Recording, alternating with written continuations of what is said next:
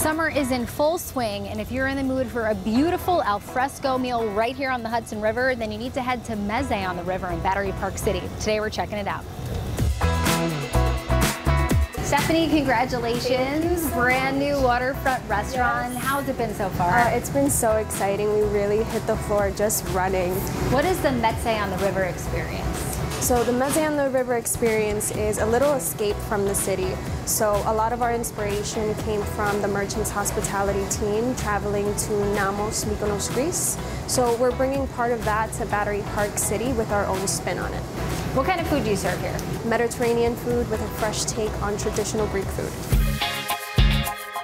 Can we talk about how beautiful this outdoor space you have is? Yes. Oh my God, the cabanas have been something that people rave about. They did such a great job. We have a swing further in the back. A lot of people are taking pictures there. And you have cabanas on both sides of the restaurant. You have a lot of outdoor seating here, not just on this side. Exactly. And a beautiful experience inside as well, like we just saw. I mean, even when you're sitting on the inside, you have such a beautiful view of the river. You know, the windows are so tall. You know, Stephanie, people bring out a lot of food for me, but this may be the spread of all spreads. Chef Antelmo Ambrioso, he worked so hard to put this menu together with his travels to Greece. So over here we have our dips with pita. I love the avocado. Different. It's so good. Here is one of our more staple items. It's very interactive.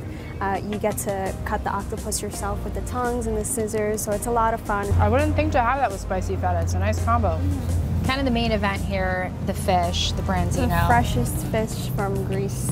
So we went there, got it, brought it back, cooked it, served it on a plate for you. Wow, that's really good.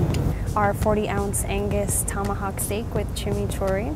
Our squid ink truffle lobster pasta, such a crowd pleaser. Our Greek salad, and this beautiful piece right here is our grand seafood tower. You also brought out some beautiful cocktails. Yes. So our lead bartender is actually from Greece, hmm. Yanni Kyriaz, and he's created such a wonderful beverage program. We make our own syrups, our own juices.